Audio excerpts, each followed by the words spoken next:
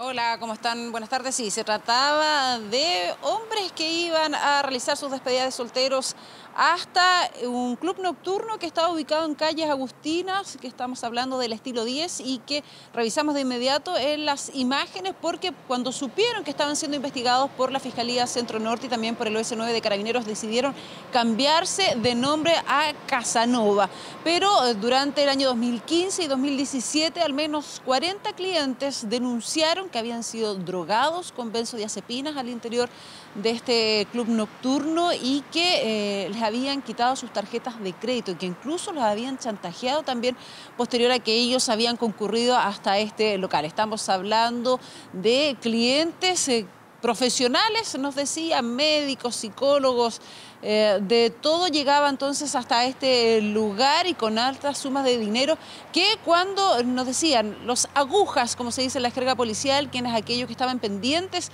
de las claves de las tarjetas, una vez que se daban cuenta de la clave que tenían cuando estaban pagando precisamente los tragos, posteriormente les ingresaban, les ponían en este bebestible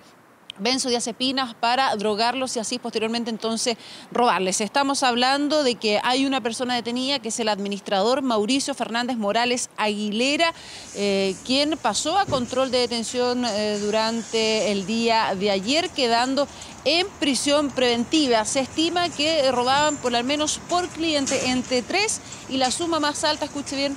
48 millones de pesos a un solo cliente. Pasemos de inmediato a escuchar declaraciones por parte del OS9 de Carabineros y también por parte de la Fiscalía.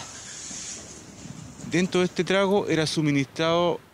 drogas ya o estupefacientes, los cuales hacían que las personas perdieran su noción en cuanto a tiempo y espacio. Al, al efectuar este tipo de medicamentos, las víctimas perdían la noción y las,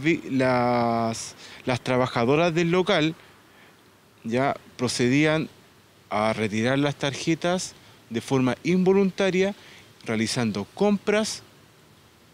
realizando compras en el local, realizando giros en los cajeros automáticos aledaños del, de este local nocturno y asimismo transacciones entre los mismos, entre los mismos trabajadores del local. A los clientes le sustraen, una vez que ya están bajo los efectos de la droga, su teléfono celular. El objeto de la sustracción del teléfono celular era, primero, poder ver si en estos teléfonos había aplicaciones para poder hacer las transacciones y transferencias vía bancaria. Y en segundo lugar, poder obtener los teléfonos celulares de familiares de las víctimas eh, su cónyuge, pareja, a objeto de, no contento con usar las tarjetas de crédito, después amenazarlas de que si no pagaban cierta cantidad de dinero,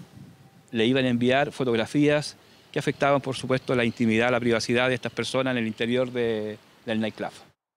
Por esos antecedentes, como les decía, pasó a formalización Mauricio Fernández Morales Aguilera, formalizado por al menos 15 delitos, 13 de ellos eh, por el uso fraudulento de tarjetas de crédito y uno por robo calificado porque mantuvieron retenido a, por más de 26 horas a uno de los clientes y también por robo con violencia. ¿Por qué robo con violencia? Porque nos decían que la suministración de drogas en, esta, en estos tragos eh, que estaban bebiendo estas personas implica entonces un robo con violencia y obviamente esta investigación continúa porque se está tratando de establecer quiénes son los restos de los participantes, aquellos que robaban las tarjetas, que sacaban el dinero y aquellos que también recepcionaban entonces el dinero en sus cuentas desde sus casas.